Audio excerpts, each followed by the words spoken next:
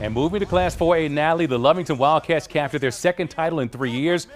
They defeated the Portales Rams 57-21. The Wildcats finishing up 10 and 3.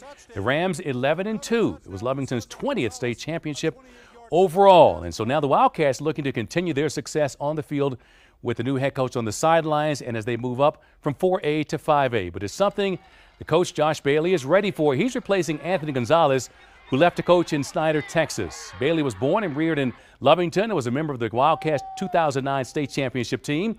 He's been the offensive coordinator for the Wildcats since 2020 and says despite the changes, the goal, that stays the same community members kind of giving us the hey you know if it takes a couple years for us to adjust to that level and those kind of things it's going to be okay but that's not how we do it at wildcat football we have 20 state championships our history is um, our goal is always going to be to win a, a, blue trophy every year.